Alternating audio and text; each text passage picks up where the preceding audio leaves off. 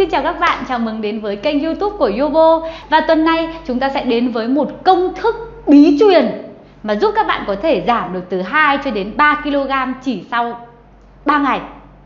Và trong khi bạn vẫn được ăn, bạn vẫn được ăn, ăn nhiều là khác và bạn không hề mệt mỏi. À, Công thức này đã có những cái kết quả thực tế trên khách hàng của Yobo trong suốt một năm qua. Và với cái tỷ lệ là cứ 100 khách hàng thì có 97 khách hàng có hiệu quả giảm trung bình là 2,5 kg. Thậm chí có những người đã giảm được 5 kg nhưng mà sau 5 ngày detox chứ không phải là 3 ngày. À, vậy thì mặc dù tùy mỗi cái thể trạng của cơ thể của chúng ta có khác nhau thì kết quả nó cũng sẽ khác nhau. Tuy nhiên cái ờ, tỷ lệ là 97% à, và cái cân nặng trung bình giảm đi là 2,5 kg thì cũng đã là một uh, cái kết quả rất là đáng khích lệ và mang đến niềm vui cho rất là nhiều khách hàng của Yobo. Và ngày hôm nay thì Anna sẽ giới thiệu cho các bạn sẽ công bố cái công thức bí mật đấy cho các bạn để các bạn có thể áp dụng và các bạn có thể giảm được cân nhanh chóng. Trước tiên sẽ đến với phần đồ ăn. Một ngày chúng ta ăn 3 bữa à, sáng trưa chiều. Và thường là chúng ta ăn à, bữa chế biến hết. Thì trong 3 ngày này à, Anna gọi chế độ này là chế độ detox. Trong chế độ detox thì khác với giảm cân nhé. Khi giảm cân thì bạn sẽ ăn theo một kiểu khác là ăn vừa ăn thực phẩm chế biến và vừa ăn thực phẩm tươi sống đấy là với phương pháp của Yobo. Còn khi mà bạn detox thì bạn sẽ, trong 3 ngày này bạn sẽ ăn hoàn toàn là thực phẩm tươi sống thôi. Bạn nhớ rằng là hoàn toàn là thực phẩm tươi sống. Vậy chúng ta sẽ ăn như thế nào? Chúng ta cũng ăn 3 bữa sáng, trưa và chiều chúng ta cũng ăn 3 bữa sáng trưa và chiều thay cho 3 bữa bình thường mà chúng ta hay chế biến lên. Thì bữa ăn nào cũng là ăn thôi và thực phẩm nào thì cũng là thực phẩm cả. Cho nên rằng là không có lý do gì mà chúng ta không thể đổi từ loại này sang loại kia đúng không ạ? Vậy thì một cái bữa của chúng ta trông nó sẽ như thế nào ạ? À trông nó sẽ như thế này. Các bạn có nhìn thấy không ạ? Ở trên tay Anna đây là dưa leo à, đây là táo còn đây là ớt chuông ớt chuông vàng à, ớt chuông đỏ. À, đây là một bữa à, nếu như với cân nặng của Anna thì cái này chưa đủ một bữa cái này chỉ khoảng 2 phần ba bữa thôi. À, bạn sẽ ăn như thế nào? Bạn sẽ ăn như thế này. À, nếu như mà bạn nặng khoảng Anna là 58 cân thì tức là cho là 60 cân đi thì mình sẽ uh, ăn uh, 6 lạng một bữa trong 3 bữa như vậy. Đây vậy các bạn có thể chọn những loại thực phẩm nào để ăn trong ba bữa đấy? Không phải chúng ta chỉ được ăn táo ớt chuông và chanh leo à dưa dưa leo đâu đây cái này hơi nặng một chút. Đấy bạn có thấy không? Bạn nhìn thấy chưa? Dưa leo này cà rốt cà rốt ăn ít thôi nhá. Táo này uh, ớt chuông này bơ này ổi này. Mặt này chúng ta có gì? Ai thanh long và dưa lưới. À, rồi tiếp đến. Bạn có thể ăn cái này đây là cà chua. Nhưng mà Anna khuyến cáo này khi bạn ăn cà chua bỏ hột nhé bỏ hột. Thế cho nên là đừng chọn cà chua bi. Mà ăn một ít thôi chứ đừng ăn nhiều bởi vì cà chua này cái tính âm mặc dù nó màu đỏ nhưng tính âm tính hàn nó hơi nhiều. Nó không hỗ trợ chúng ta à, giảm nhiều cân cho lắm. Nhưng nó làm cho da của chúng ta đẹp căng mọng. Ui. Còn đây cái đĩa này tượng trưng cho các loại quả mọng nó tượng trưng cho các loại quả mọng. Các loại quả mọng là bạn có ngoài tức là ngoài kiwi nho và dâu tây bạn có thể ăn thêm dâu tằm bạn có thể ăn thêm nam việt quất việt quất mâm xôi cherry đều tính là các loại quả mọng. Bạn có thể ăn nó. À đó chính là các cái loại rau củ quả mà bạn có thể ăn. Được chưa ạ? À, nếu mà bạn không nhớ bạn chưa kịp ghi thì bạn hãy tua lại cái đoạn vừa rồi để có thể biết được nhá. À, đó là cái cách ăn của chúng ta. Là chúng ta ăn một ngày ba bữa. À, mỗi bữa thì à, bạn cứ lấy trọng lượng của chúng ta theo kg và nhân lên 10 lên để ra số gam à, thực phẩm gọi là rau củ quả mà chúng ta ăn Đấy là bước số 1 là ăn rau củ quả. Vậy việc ăn rau củ quả này thì có cái tác dụng gì ạ? Thứ nhất nó đều là những cái danh mục và thực phẩm tàng hình mà nó sẽ giúp cung cấp cho cơ thể của chúng ta đầy đủ vitamin, enzyme, muối khoáng, chất chống oxy hóa và đặc biệt là khả năng đốt cháy mỡ cực kỳ kỳ diệu. À, nếu chúng ta nhịn ăn thì sao ạ? Thực sự có một sai lầm uh, trong những cái phương pháp giảm cân uh, ở nhiều thập kỷ trước là uh, ăn uh, ăn không có uh, cân bằng các chất hoặc là uh, nhịn ăn và detox chỉ uống nước hoặc là uh, nước lọc hoặc là uống một cái loại trà nào đó. Uh, thì cái cách này nó sẽ không cung cấp được dinh dưỡng cho cơ thể mình. Bởi vậy cho nên uh, nó có thể tắt cái nguồn đầu vào nhưng mà cái đầu thải của nó thì nó lại không kích thích được. À, những cái dinh dưỡng này trong rau củ quả có rất là nhiều dinh dưỡng. Và khi bạn đưa vào cơ thể của chúng ta thì thứ nhất là tế bào của chúng ta sống được này sống khỏe được này. À, và khi mà nó được sống khỏe như vậy thì uh, không chỉ cái phần quan trọng là bạn đưa vào dinh dưỡng mà cái phần ăn năng nghĩ là quan trọng hơn đó là bạn đào thải được các cái độc tố ra khỏi cơ thể đào thải được những chất cặn bã ra khỏi cơ thể. Và trong rau củ quả này nó có rất là nhiều chất xơ. Và chính cái lượng chất xơ đấy nó giống như những cái chổi quét quét quét quét và dọn hỗ trợ dọn những cái chất thải ra khỏi cơ thể của chúng ta. Đó là một phần vô cùng quan trọng mà thường chúng ta quên chúng ta cứ nghĩ là đưa vào là được. Nhưng mà không phải vừa đưa vào uh, vừa phải thải ra.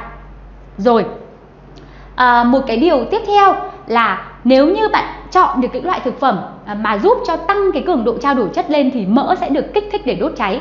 Anna lấy ví dụ nhé với những cái người mập, một người mập à, và một người ốm cùng chiều cao như nhau, thì cái người ốm ấy sẽ, tức là miền Nam gọi là ốm, miền Bắc là người gầy á, cái người gầy đó sẽ có cái cường độ trao đổi chất cao hơn so với cả cái người mập mà có chiều cao tương đương.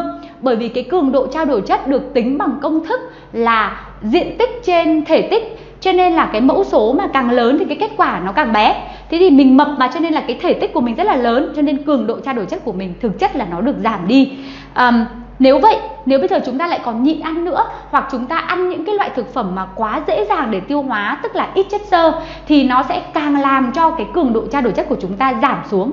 Mà khi giảm xuống thì thay vì mình cần 2.000 calo một ngày bây giờ mình chỉ cần có 1.000 calo một ngày thôi thì vô hình chung là gì? Là mình không cần đốt cháy mỡ để có đủ năng lượng cho cơ thể hoạt động nữa.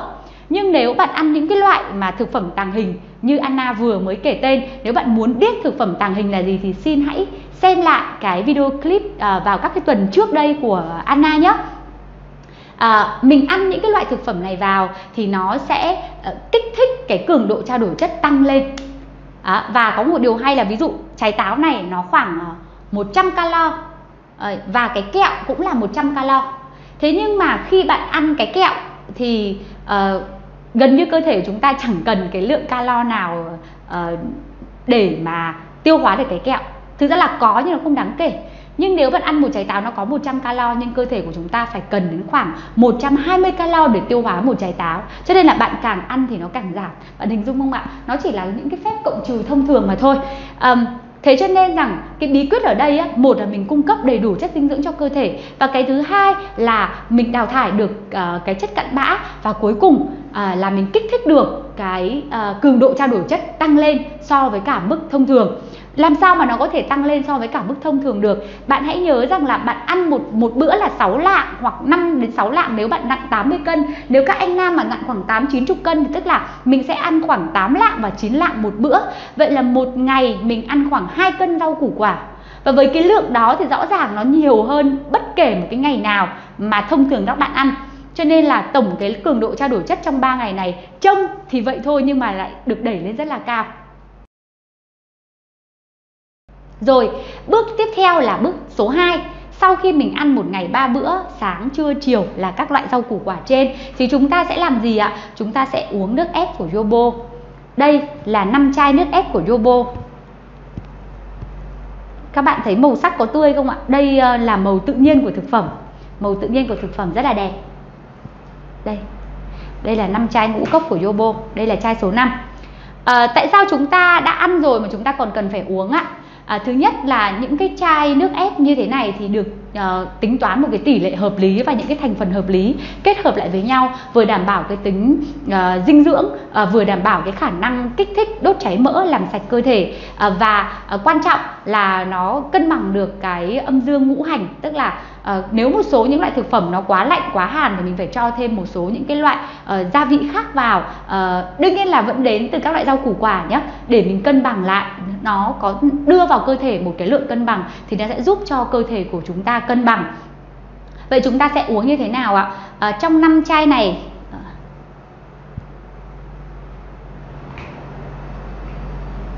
chúng ta sẽ uống từ sáng cho đến tối. Chai đầu tiên mình sẽ uống từ 7 cho đến 9 giờ sáng Tức là ngủ dậy là bạn sẽ uống cái chai này. Thì chai này thành phần của nó là có mạ lúa mì, cải xoăn, táo và dưa leo và với bốn cái loại quả này thì nó sẽ giúp cho bạn có một cái, được gọi là như thế nào nhỉ? Một cái sự wake up đánh thức tất cả những cái giác quan ở bên trong cơ thể bằng cách là thức tỉnh tất cả những cái tế bào bên trong cơ thể. Ờ, có lẽ là cơ thể của bạn à, phải à, rất lâu rồi mới được đưa vào ờ, một cái lượng dinh dưỡng vào bữa sáng thay cho là những cái thực phẩm chế biến. Cho nên đây cũng là một cái công thức mà được rất nhiều các khách hàng của Yobo ưa chuộng là khi uống cái chai này vào đầu buổi sáng thì họ cảm thấy là trong người rất là sảng khoái và nhẹ nhõm sảng khoái và nhẹ nhõm tức là sau khi bạn uống một chai này thì ờ, khoảng tầm 30 phút sau bạn bắt đầu ăn cái bữa sáng từ rau củ quả của mình được chưa ạ mình có một chai Tiếp theo mình có một chai số 2 mình sẽ uống vào tầm khoảng 10 giờ sáng đến 11 giờ là táo, cà rốt và ớt chuông. Đối với cái chai này thì nó sẽ giúp cho bạn đốt cháy mỡ rất là ghê gớm. Rồi, à, đây à, là một chai gọi là chai ngũ cốc À, với cái chai ngũ cốc này thì nó gồm có những cái gì ạ? Nó gồm có à, hạnh nhân, đậu à, à, hạnh nhân, đậu đỏ, đậu đen, à, đậu xanh, mè đen, mè trắng, óc chó và mắc ca. Thì với một cái chai như này thì nó đầy bạn sẽ uống vào lúc 12 giờ trưa, nó thay cho được một bữa ăn hoàn hảo gồm có tinh bột, uh, gồm có protein và gồm có chất béo luôn à, và cái lượng tinh bột này là cái tinh bột mà bạn có thể ăn bởi vì nó được xay ra từ những loại đậu còn nguyên vỏ. À, và bởi vì như vậy cho nên là bạn sẽ vẫn cung cấp được tinh bột cho cơ thể mà không hề bị tăng cân tức là nó không làm ảnh hưởng đến cái kết quả đề tốc của mình do cái nồng độ đường trong này nó thấp. À, các bạn sẽ thắc mắc là tại sao cũng là tinh bột mà cái chai này nó lại có thể hỗ trợ và được sử dụng trong quá trình detox có những loại tinh bột khác ví dụ như là ờ, nhiều người hỏi là có được ăn khoai lang không? À, hay là được ăn bắp luộc không? Thì không được ăn nhé không được thay thế như vậy. Bởi vì là nếu bạn à, được tìm hiểu kỹ hơn về cơ chế của quá trình đốt cháy mỡ và làm sạch cơ thể thì chúng ta buộc phải đưa vào trong cơ thể à, những cái loại thực phẩm mà có chỉ số đường huyết thấp à, và đây chính là một phần của cái phương pháp tổng thể trong phương pháp giảm cân Yobo. À, bạn có thể sẽ được tìm hiểu qua những video à, clip trước đây của Anna hoặc là bạn có thể chờ để đón xem quyển sách à, phương pháp giảm cân Yobo. Càng ăn càng giảm. Thì à, bạn sẽ thấy và hiểu rõ được tại sao Anna lại sử dụng những cái loại này. Và khi nào đến cái chai này thì nếu như tương tự như vậy trong cái quá trình mà mình à, giảm cân hoặc là mình detox nếu giả sử mình quá đói mình không thể chịu được được mình có xu hướng ngất xỉu đến nơi rồi thì mình có thể uh, lấy thêm những cái loại ngũ cốc như thế này để mình có thể pha thêm để mình ăn. Nhưng cái này là không khuyến cáo chỉ dành cho những người mà quá bị dính mắc với thực phẩm và họ không thể chịu đựng được. Nhưng với Anna thì Anna thấy ăn như thế này là khá là nhiều đấy ạ. Rồi 3 giờ chiều mình sẽ uống à, một chai như thế này. Chai này là gồm có cần tây dưa leo mạ lúa mì bơ và chanh màu nó rất đẹp như thế này đang còn mùa bơ cho nên là phải nhanh chóng cho khách hàng sử dụng. Không có hết mùa bơ là mình sẽ không dùng được bởi vì mình dùng tất cả là thực phẩm tươi sống mùa nào mình dùng quả đấy. Chưa và đến 6 giờ chiều là bữa ăn cuối cùng của mình thì mình sẽ uống chai màu xanh này là gồm có táo ớt và cần tây à, và như vậy là chúng ta đã có 5 chai nước ép của Yobo một ngày cộng với khoảng 2 kg rau củ quả à, tổng cái lượng vitamin enzyme đưa vào cơ thể là rất là lớn. Bởi vì với một cái chai như thế này thì Yobo cần phải ép từ khoảng 6 lạng đồ thô dù là rau gì đi chăng nữa thì nó đều đến từ khoảng 6 lạng đồ thô. Và như vậy thì khi mà mình nhân với 4 tại vì cái chai này nó không phải là rau củ quả này thì nó khoảng 2 cân tư cộng với chúng ta ăn khoảng 2 cân nữa thì một ngày chúng ta đưa vào cơ thể của mình lượng vitamin, enzyme, muối khoáng và chất chống oxy hóa đến từ thực phẩm lên đến gần 5 kg và với cái cách như vậy thì cơ thể của chúng ta gần như là được được nhúng ở trong một cái môi trường uh, kiềm hoàn toàn phù hợp với tế bào hoàn toàn mà trước giờ chúng ta không làm. Bởi vậy cho nên là nó sẽ được hoạt hóa rất là nhanh. Uh, và cơ thể của chúng ta ấy, thì Anna vẫn thường nói là cái người bạn thân của chúng ta người bạn thân nhất của chúng ta người bạn đồng hành thực sự của chúng ta chính là cái cơ thể này. Tức là cái tâm trí và cái thân thể là hai thực thể khác nhau và thường thì chúng ta quên mất điều đó. Cơ thể của chúng ta không biết nói. Cái miệng chỉ là cái công cụ để giúp cho tâm trí nói ra những gì mà ta nghĩ mà thôi. Thế còn thực chất thì cơ thể của chúng ta khá là uh, khá là phải chịu đựng cái tâm trí của chúng ta nhiều bởi vì thường chúng ta thực hiện và chúng ta làm những việc mà chúng ta thích thay vì à, là để ý đến cái người bạn đồng hành này cảm thấy như thế nào. Và trước khi mình có vợ có chồng có người yêu thì cái người mà đồng hành cùng mình đến suốt cả cuộc đời lại là cái thân thể này này.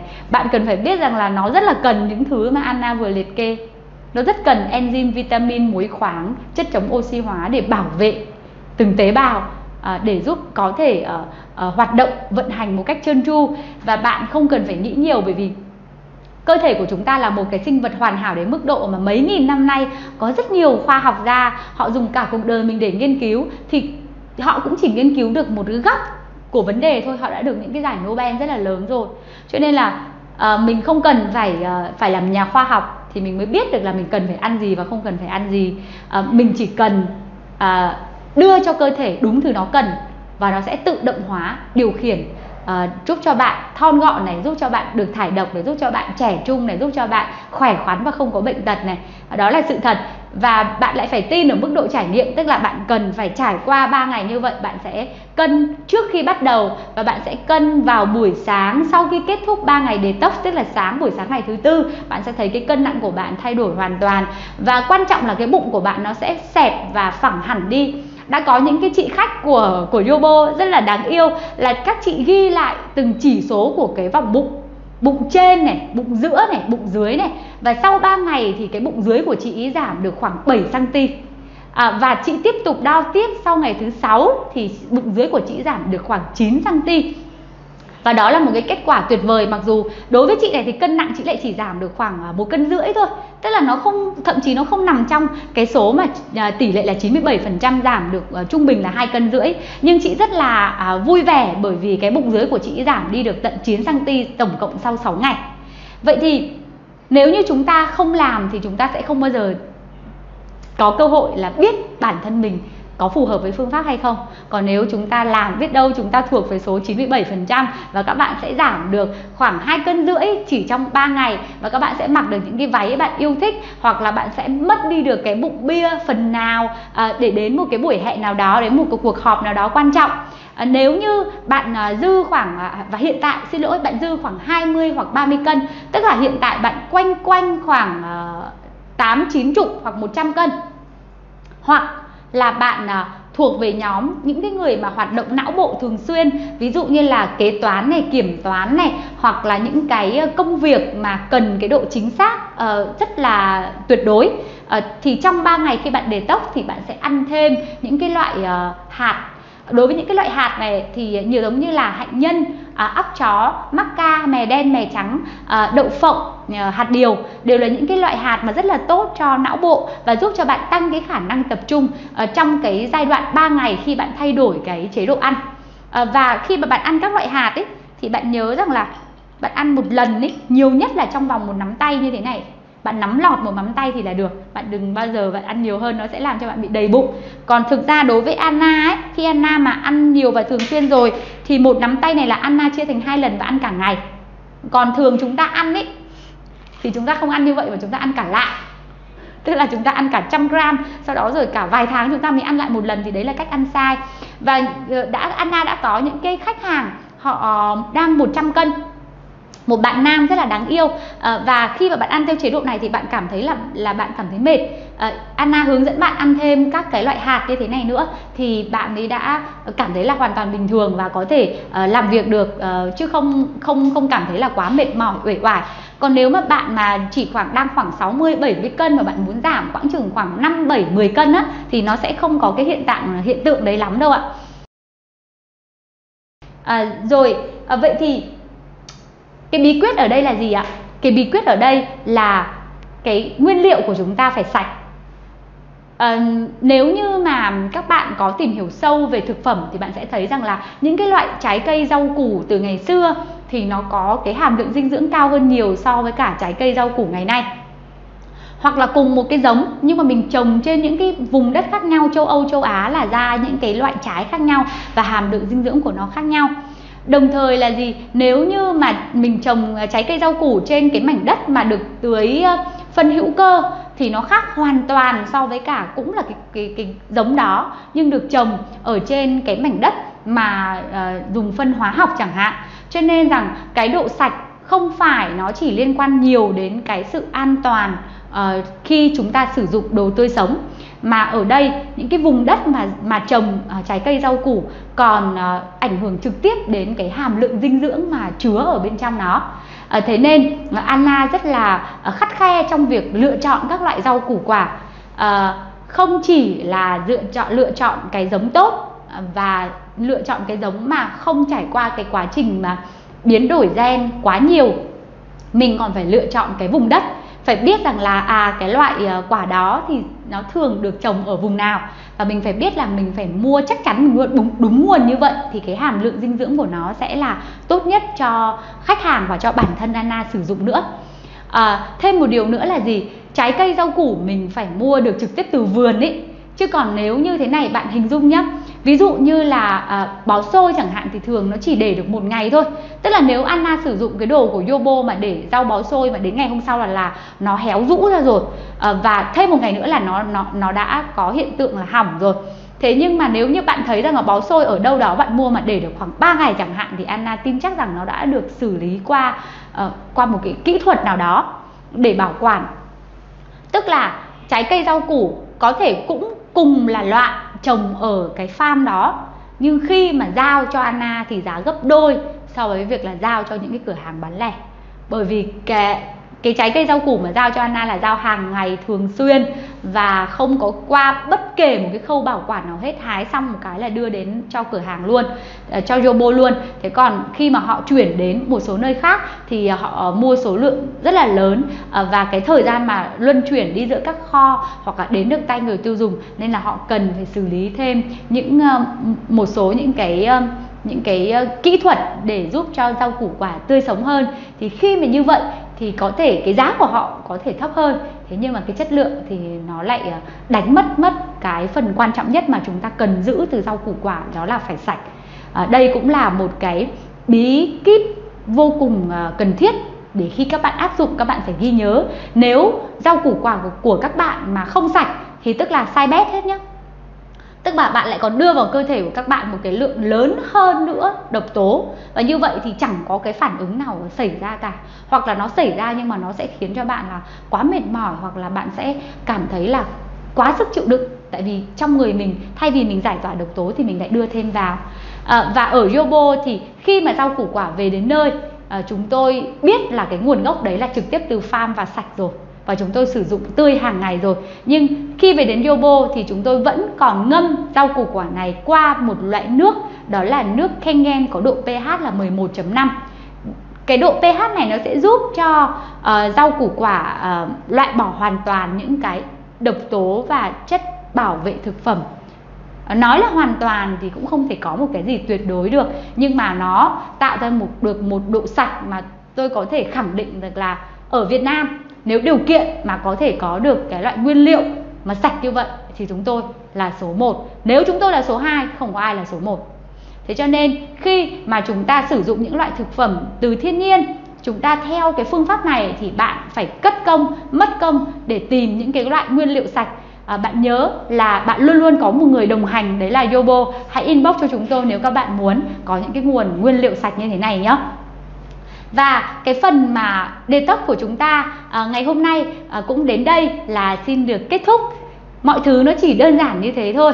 Các bạn hãy tin ở mức độ trải nghiệm à, các bạn hãy cân trước và cân sau để thấy được à, cái sự thay đổi về thể trạng của mình. Và hãy nhớ rằng à, sau 3 ngày đề tốc thì không chỉ là cân nặng thay đổi mà sẽ có thêm một phần nữa đó là bạn sẽ ngủ khá là ngon bạn sẽ đi ngủ sớm à, và bạn sẽ à, cảm thấy là những cái phản ứng dị ứng của mình nó sẽ bớt đi. Trước khi mà kết thúc thì có một điều à, bạn cần lưu ý là trong quá trình detox bạn hãy phân biệt được cảm giác đói sinh lý và cảm giác đói tâm lý.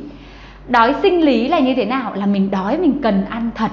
Còn đói tâm lý là cái cảm giác xảy ra khi mà bạn vẫn đầy đủ chất dinh dưỡng nhưng do trong 3 ngày này bạn thay đổi cái cách ăn bạn thay đổi cái thành phần bạn đưa vào cơ thể cho nên là cơ thể của bạn nó đòi nó đòi một cái cũ nó đòi một cái cũ. Và cái cảm giác đói tâm lý là một cái cảm giác mà bạn có thể uh, trải nghiệm trong cái quá trình detox. Nếu bạn trải qua được buổi tối thứ hai buổi tối ngày thứ hai thì buổi sáng ngày thứ ba khi tỉnh dậy bạn cảm thấy bạn không còn dính mắc gì vào đồ ăn cả. Và ngày thứ ba cái ngày detox cuối cùng trôi qua vô cùng nhẹ nhàng và nhiều người nói rằng là ờ sau 3 ngày thì chị hoàn toàn có thể làm thêm ngày thứ tư, ngày thứ năm. Mà do là chúng tôi có nhiều khách hàng ở xa, cho nên là để đảm bảo an toàn cho khách hàng thì Yobo không khuyến khích chỉ cần 3 ngày là đủ rồi. Sau đó nếu bạn muốn giảm cân tiếp tục thì chúng ta cần phải đưa cơ thể của chúng ta về một chế độ ăn mà bạn có thể duy trì lâu dài đến suốt đời. Chứ còn chế độ này bạn có thể thực hiện à, mỗi tháng một lần nếu như bạn muốn làm sạch cơ thể và muốn giảm đi cứ giảm đi hai ba cân đó. À, hoặc là bạn sẽ luân phiên trong một cái liệu trình giảm cân. Nếu mà bạn muốn giảm ờ, 5 cân 10 cân 15 cân 20 cân một lần nữa, cảm ơn các bạn đã dành thời gian theo dõi. Xin chúc các bạn detox thành công và giảm được từ 2 cho đến 3 kg trong vòng 3 ngày. Bạn hãy feedback cho Yobo về kết quả của bạn nhé. Và nếu các bạn thích thông tin này thì hãy cho Anna một like, một share, hãy rung chuông và hãy subscribe trên uh, channel của Yobo để Anna có thêm động lực và làm những video tiếp theo nhé. Xin chào và hẹn gặp lại. Yeah.